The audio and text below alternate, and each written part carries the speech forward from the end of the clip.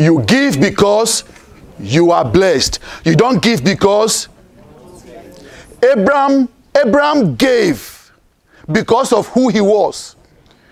Abraham did not give because of what he wanted to become. The Bible says he was already rich. He was very rich in livestock, in silver, and in gold. This was before he gave the tithe. Are you getting me? Whatever you focus on, that is what you will see. So when you are giving your tithe, what do you focus on? I'm blessed. You are magnifying, I'm blessed.